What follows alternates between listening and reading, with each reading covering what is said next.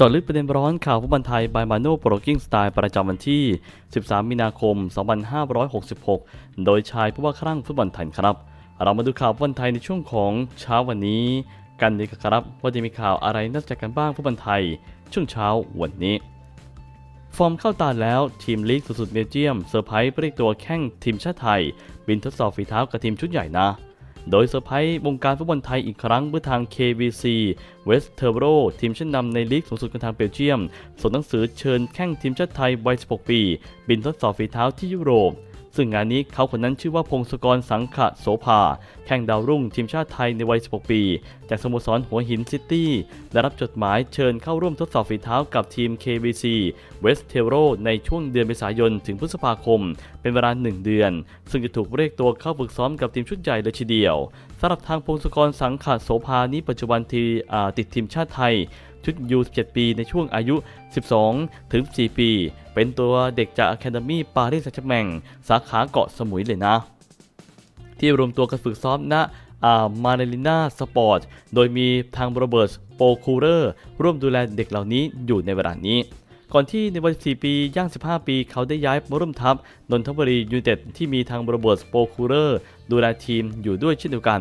ล่าสุดนั้นเขาอยู่กับทีมหัวหินซิตี้และแน่นอนว่าทีมนี้ก็มีโรเบิร์ตสโปคูเรอร์ดูแลทีมอยู่ โดยโค้ชใหญ่ของหัวหินซิตี้ปัจจุบันก็คือเรเน่เดซาเชียกุนซือชื่อดังชาวเบลเยียม ส่วนใหญ่หัวหินใช้เด็กเยาวชน 15-19 ปี เป็นแกนหลักลงเล่นในศึก T3อ่านผมเป็นแต่ว่างานนี้นะฮะ ต้องรอดูกันต่อไปก็แล้วกัน อยู่ดีๆ อย่างนี้ เด็กคนนี้นะผมมีโอกาสจะไปได้ไกลเพราะฉะนั้นแล้วจัดให้เต็มที่เลยนะครับน้อง ก็ฝากติดแฮชแท็กเชียร์ไทยเชียร์ไม่เลิก เชียร์น้องคนนี้ไปลุยลีกเบลเยียมกันด้วยนะครับ เรามาดูประเด็นข่าวต่อมากันนี่ครับญี่ปุ่นส่งสัญญาณโอนิกิเปิดความสำคัญของชนาธิปสรงกระสินธ์แนวรุกทีมชาติไทย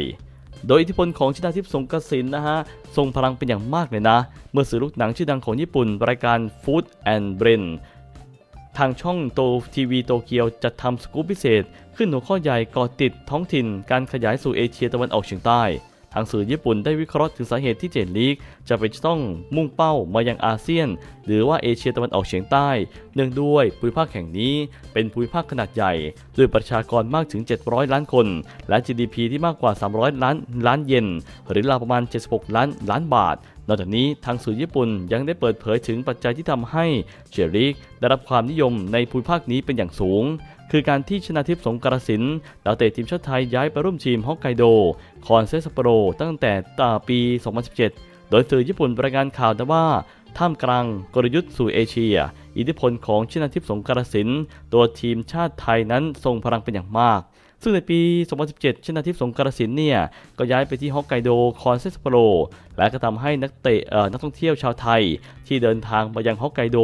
เพื่อจะดูดาวเตะของประเทศพวกเขาลงเล่น มีจำนวนเพิ่มขึ้นอย่างรวดเร็วในครั้งนี้โดยการย้ายทีมของชนาธิปสรงกระสินธ์ยังคงเป็นแรงนะฮะ แรงเสริมให้ในการถ่ายทอดสดเจลีกที่เริ่มในไทยในปีเดียว ส่วน Facebook เจลีกเวอร์ชันภาษาไทย ก็กลายเป็น content ที่ได้รับความนิยม โดยจำนวนผู้ติดตามมากกว่า 700,000 คน ที่มากกว่าเวอร์ชันญี่ปุ่นมากถึง 2 เท่าตัว ทางนี้รายการยังได้มีการพูดคุยถึงกิจกรรมต่างๆ ในการถ่ายทอดสดเจลีกที่ประเทศไทย หรือว่าเจลีกเดอะรูมบางกอกการย้ายทีมของชนาธิปสรงกระสินธ์ส่งผลให้นักเตะชาวไทยต้องการจะลองไปหาความท้าทายในเจลีกมากยิ่งขึ้น อย่างที่เห็นผู้เล่นทีมชาติทยอยพาเหรดมาเล่นในเจลีกทางนี้ซามาชาโนบุคาซุมุระพิธีกรรายการได้เสริมเติมนะว่า สถานะของเจลีกตอนนี้อาจจะเหมือนกับที่นักเตะเจญี่ปุ่นนะฮะมองลีกยุโรป ฐานะเป้าหมายที่จะมุ่งไป มันเหมือนกับพวกเราที่ดูแลดูสโมสรในยุโรปในครั้งนี้ ผู้คนในเอเชียตะวันออกเฉียงใต้กำลังดูเจลิกอยู่ ซึ่งมันน่ามหัศจรรย์เป็นอย่างมากเพราะผู้เล่นจากอาเซียนจะซึมซับความรู้และก็สิ่งต่างๆ จากเจลิกหรือไปยุโรปกันแน่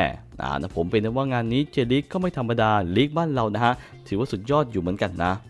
เรามาดูประเด็นข่าวต่อมากันดีครับได้ครบ 24 ทีมแล้ว เปิดโฉมหน้าทีมร่วมฟาดแข่งชุด U20 ปีฟุตบอลโลกบนแผ่นดินอาเซียน โดยการนี้ฟีฟ่า U20 ปี World Cup 2023 มาแล้ว เมื่อ 24 ทีมคว้าตั๋วไปอินโดนีเซีย ตั้งแต่วันที่ 20 พฤษภาคมถึง 11 มิถุนายน โดยการนี้เจ้าภาพก็จะเป็นอินโดนีเซีย ต่อมาก็จะเป็นบราซิล โคลัมเบีย เอกวาดอร์ อุรุกวัย สาธารณรัฐโดมินิกัน กัวเตมาลา ฮอนดูรัส สหรัฐอเมริกา อังกฤษ ฝรั่งเศส อิสราเอล อิตาลี และก็สโลวาเกีย ฟิจิ นิวซีแลนด์แกมเบีย ไนจีเรีย เซเนกัล ตุนิเซีย อิรัก อุซเบกิสถาน เกาหลีใต้ และก็ญี่ปุ่นครับ โอ้โห เป็นว่างานนี้ไม่มีเวียดนามนะฮะ น่าเสียดาย แต่ที่มีอินโดนีเซียนั้นเพราะว่าเป็นเจ้าภาพในการจัดแข่งขันอ่า World Cup 2023 ในครั้งนี้นั่นครับก็ต้องรอดูกันต่อไปกันละกันนะครับ ว่าจะเป็นเช่นไรสู้ๆกันนะ ตัวแทนจากทางฝั่งเราอินโดนีเซีย เรามาดูประเด็นข่าวต่อมากันดีครับ แข่งชบาแก้วชุดยู20 ปี ไทยพ่ายไต้หวันไป 0 ต่อ 3 ตกรอบคัดเลือกแรกในครั้งนี้ โดยการนี้นะผมแข้งสาวทีมชาติไทยชุดยู20 ปี ต้านไต้หวันไม่ไหว พ่ายไป 0 ต่อ 3 จากชัยชนะนัดนี้ทำให้ไต้หวันผ่านเข้ารอบ 2 ของฟุตบอลหญิงชิงแชมป์เอเชีย รุ่นอายุไม่เกินยู20 ปี รอบคัดเลือก ส่วนสาวไทยยุติเส้นทางแค่รอบนี้ โดยการแข่งขันฟุตบอลหญิงชิงแชมป์อาเซียนรุ่นอายุไม่เกิน 20 ปีรอบคัดเลือกรอบแรกกลุ่ม E นัดสุดท้ายเมื่อวันที่ 12 มีนาคมที่ผ่านมา ณ สนามบุรีรัมย์ซิตี้ ฟุตบอลหญิงทีมชาติไทยในรุ่นอายุไม่เกิน 20 ปี ลงสนามพบไต้หวัน โดย 2 เกมก่อนหน้านี้ทั้ง 2 ทีม ต่างที่จะเอาชนะอุซเบกิสถาน และกทาจิกิสถาน แต่ไต้หวันนั้นมีประตูได้เสียดีกว่า เกมนี้ชบาแก้วชุดยู20 ปี วางจีน่าทองพันธ์เป็นหน้าเป้า พร้อมมีทวันรัตพรมทองมี และก็จิดาภาดำริสนับสนุนทีมในครั้งนี้ โดยเริ่มเกมมา 5 นาทีไต้หวันมาได้ประตูออกนำแต่จังหวะที่บอลทะลักมาถึงโจเซียหนีกดด้วยขวาเข้าไปทำให้ไต้หวันนำไปก่อน1ต่อ0 แต่แล้วก่อนจะหมดครึ่งแรกนะฮะชบาแก้วเกือบมาได้ประตูตามตีเสมอแล้วแต่จังหวะที่ทวันรัตพรมทองมีสอดมาบอลเล่ด้วยขวาบอลไปชนคานออกหลังไป และก็จบครึ่งแรกไต้หวันยังนำอยู่1ต่อ0มาต่อครึ่งหลังนะฮะแค่ 2 นาทีลียีวิน หลุดมาทางซ้ายก่อนจะจ่ายเข้ากลางให้กับทางหริวอยู่เฉียว ยิงด้วยขวาเสียบเสาแรกเข้าไปทำให้ไต้หวันนำห่างไปเป็น 2 ต่อ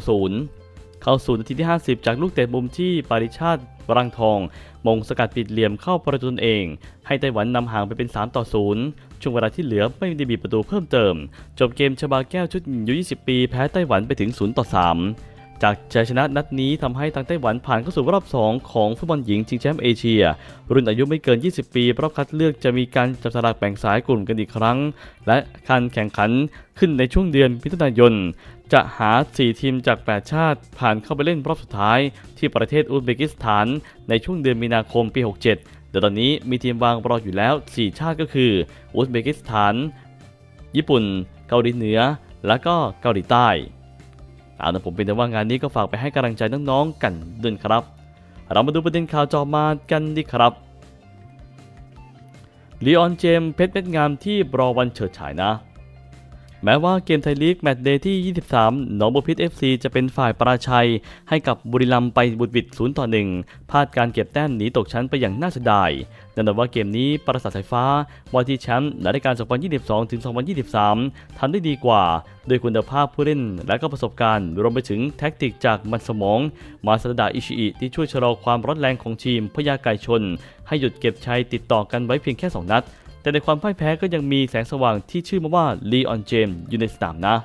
นักเตะหมายเลขหกของหนองบัวพิชญคนนี้ ค่อยๆ แสดงให้เห็นถึงความเก่งกาจขึ้นเรื่อยๆครับ โดยในเกมกับทางบุรีรัมย์นั้นเขาสามารถต่อกรกับชิรทรบุมทัน และก็เพียรดลชำรัศมีสองมิดฟิลด์ผู้เจนจัดเวทีใจลีกอย่างไม่เป็นรอง มีจังหวะหนึ่งในช่วงกลางครึ่งแรกที่เจมส์พลิกหลบทั้งธีรทรและก็เพียรดลได้อย่างน่าเหลือเชื่อเขาทั้งที่ถูกบีบเข้ามาประชิดตัวในครั้งนี้ มันแสดงให้เห็นถึงทักษะการเอาตัวรอดของกองกลางในวัย 20 ปีรายนี้อย่างดี อย่างไรก็ตามเมื่อขุดลึกไปถึงการเติบใหญ่บนเส้นทางลูกหนังของเจมส์นั้น ต้องบอกว่าไม่ใช่เรื่องแปลกที่เขาจะโดดเด่นขึ้นเรื่อยๆในครั้งนี้ เพราะเขาเกิดที่ประเทศอังกฤษ มีคุณพ่อเป็นลูกครึ่งไทยอังกฤษ ส่วนคุณแม่เป็นชาวสุโขทัย แต่ย้ายไปทำงานที่เมืองโคเวนทรี ก่อนจะได้เข้ามาเป็นนักเตะฝึกหัดของเลสเตอร์ ตั้งแต่อายุเพียงแค่ 6 ขวบ เขาอยู่กับทางจิ้งจอกสยามมานานกว่า 11 ปี ก่อนตัดสินใจย้ายมาเล่นในเมืองไทย โดยเริ่มจากราชบุรี FC เป็นสโมสรแรกเมื่อฤดูกาล 2019 ทว่าเจมส์ในวัย 18 ปี ยังไม่สามารถสอดแทรกขึ้นสู่ทีมชุดใหญ่ ของทัพราชันมังกรได้ทำให้ต้องย้ายไปที่สุโขทัย FC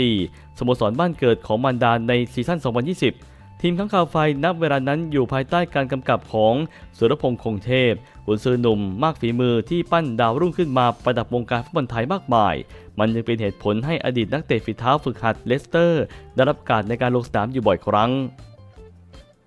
จากนี้ไปเจ้าตัวต้องรักษามาตรฐานนี้ให้ได้สม่ำเสมอ และไม่ยอมหยุดที่จะพัฒนาตนเอง เพราะเมื่อถึงเวลาที่สมควร เขาจะก้าวไปยืนอยู่แถวหน้าของวงการลูกหนังสยามประเทศอย่างแน่นอน